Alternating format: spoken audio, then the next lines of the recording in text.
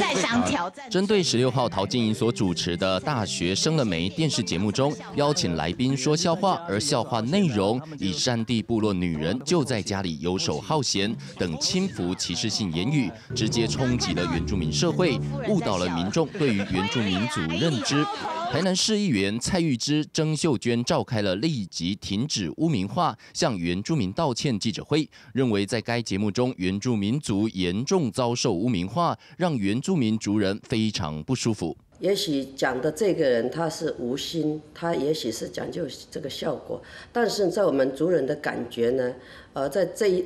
近几年的一直这样子的被被污名、被污名化，所以我们的。感觉是非常的不舒服，尤其是在这个母亲节的前夕哈，在讲这种事情，对我们的族人的这个妈妈们也是非常非常的呃受伤了哈。节目中为了达到节目效果，对于原住民族的言论未加把关，市议员曾秀娟痛批这已经伤害到原住民族的尊严。制作单位对于这样的言论，居然还公开播放。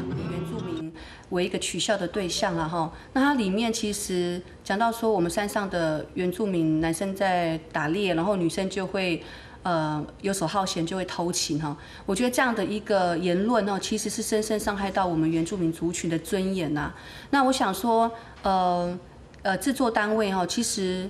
我想他们应该哈要针对这样的一个言论，其实就应该不适宜在这个公开的场合来播放。台南市族群事务委员会主委马耀比后更提到，在母亲节的前夕，听到这样贬低原住民族的所谓笑话，用来增加节目效果，谴责该节目非常不应该。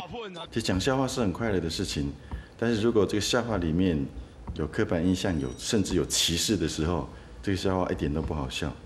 特别是笑话里面有讲到特定的族群，讲到原住民，如果又是负面的话，这笑话非常不好笑。如果这笑话里面又有性别的歧视，又是讲到女性对女性不好、有负面的笑话的话，更不好笑。特别是在这个母亲节的前夕，施议员与主委一致要求节目制作单位对于歧视与严重伤害原住民的节目内容，应该公开说明道歉，也要求主管单位 NCC 一定要认真的纠正这种充满种族歧视、性别歧视的不当节目。记者母定台南市采访报道。